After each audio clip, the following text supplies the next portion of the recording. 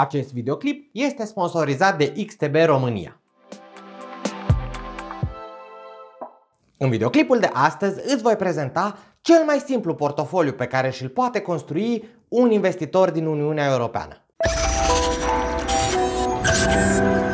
Salutare! Numele meu este Ovidiu Tarcu și vreau să-ți urez bun venit pe canalul meu de YouTube. Crearea unui portofoliu de investiții poate fi copleșitoare. Există numeroase clase de active în care poți investi, cu multiple subcategorii și corelații diferite între ele. De aceea, mulți investitori sunt intimidați de acest proces. Din fericire, există numeroase portofolii de investiții pe piața de capital din care te poți inspira în crearea propriului portofoliu de investiții. O parte dintre ele le-am prezentat deja pe canal. Astăzi vreau să adaug încă unul în colecție. De aceea, în minutele următoare îți voi prezenta portofoliul simplu, un portofoliu de investiții destinat investitorilor din Uniunea Europeană care poate fi constituit din două, maxim trei ETF-uri. Acestea fiind spuse, să dăm drumul la treabă. Și voi începe prin a prezenta caracteristicile de bază ale unui astfel de portofoliu. Prima dintre ele este faptul că, prin intermediul său, investești în doar două clase de active, acțiuni și instrumente cu venit fix. Acestea din urmă pot include atât titluri de stat cât și obligațiuni corporative.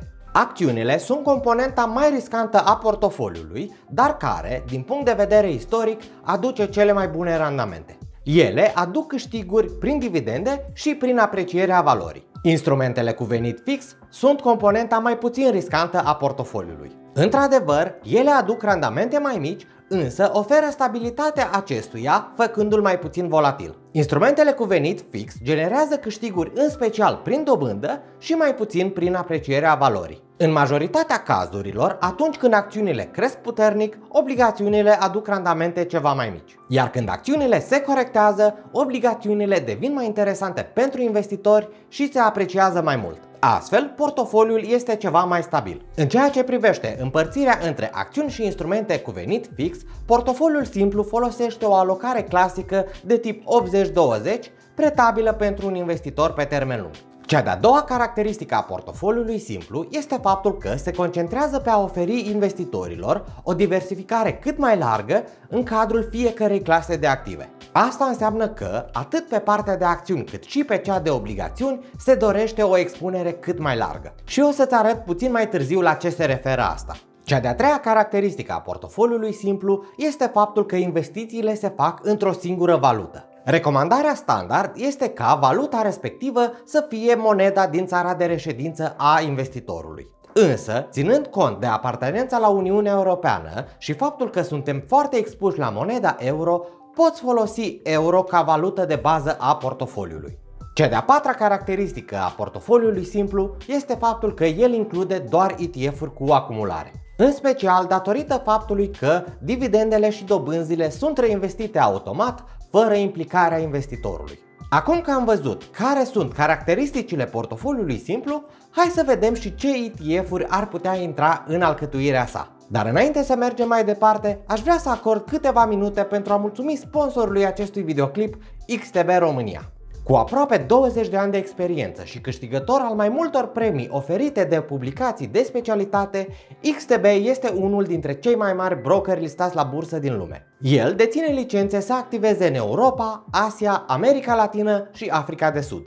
XTB are sediu și în România de peste 13 ani, fiind înscris în registrul ASF. În consecință, el poate fi un partener de încredere în activitatea ta de investitor. XTB dispune de o gamă variată de peste 5400 de instrumente, atât cu deținere cum sunt acțiunile și ETF-urile, cât și de tip CFD, cum sunt acțiunile, ETF-urile, perechile valutare, criptomonedele, indicii și mărfurile. Asta îți oferă posibilitatea să-ți creezi atât un portofoliu de investiții simplu, cât și unul ceva mai diversificat. La XTB, toată gama de instrumente poate fi accesată dintr-o unică platformă denumită Xstation, care este dezvoltată in-house și care este foarte ușor de utilizat.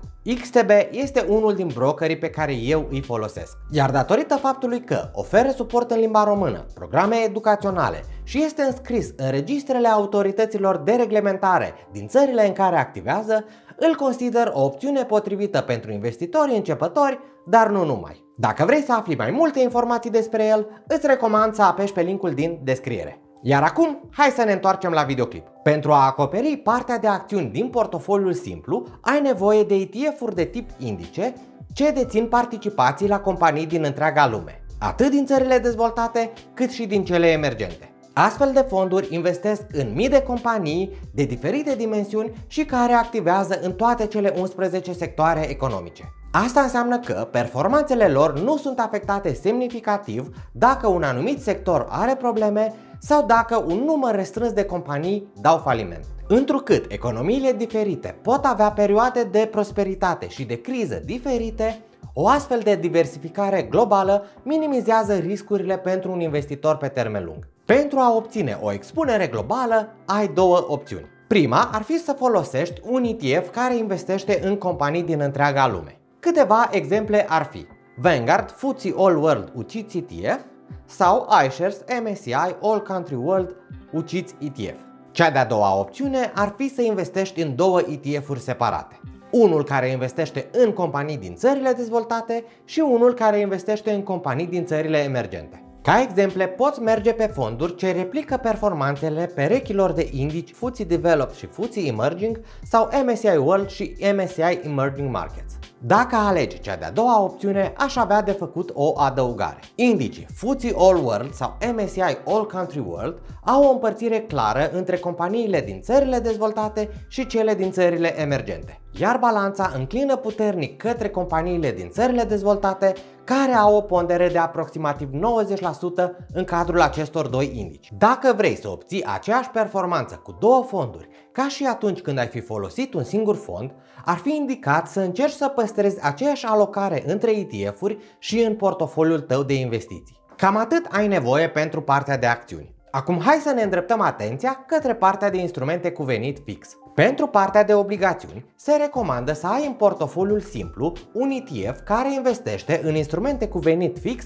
de calitate ridicată. În limba engleză, ele poartă denumirea de investment grade. De asemenea, pentru a diminua din volatilitatea portofoliului, ETF-ul ar trebui să conțină predominant titluri de stat. Ele au o corelație inversă cu acțiunile și sunt considerate mult mai puțin riscate decât obligațiunile corporative. Șansele ca o țară să intre în incapacitate de plată sunt mult mai mici decât ale unei companii. Întrucât instrumentele cu venit fix au o pondere de doar 20% în portofoliu, te poți descurca foarte bine cu un singur ETF.